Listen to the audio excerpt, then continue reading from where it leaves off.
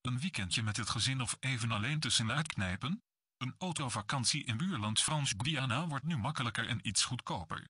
Naast de gratis visa-optie voor toeristen, biedt Frankrijk nu een goedkope grensautoverzekering aan. Deze geldt voor reizigers met personenauto's uit Suriname en Brazilië, zegt ambassadeur Antoine Julian Star. De grensautoverzekering voor een periode van 15 dagen tot een jaar wordt verkocht bij de douane op de Franse grensposten. De prijs voor een 15-daagse verzekering kost 95 euro.